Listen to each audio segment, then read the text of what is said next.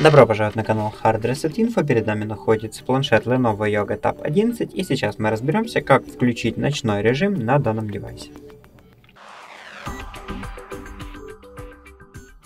Итак, для начала э, мы смахиваем шторку сверху вниз и здесь мы включаем кнопку ночной режим, которая переправляет нас на настройку мы выбираем здесь, будет ли входить в ночной режим не, функция не беспокоить и оттенки серого. Если да, то далее, если нет, то уберите какие-то галочки там. После чего настраиваем расписание, например, включать перезарядки во время сна. Готово. И на этом все.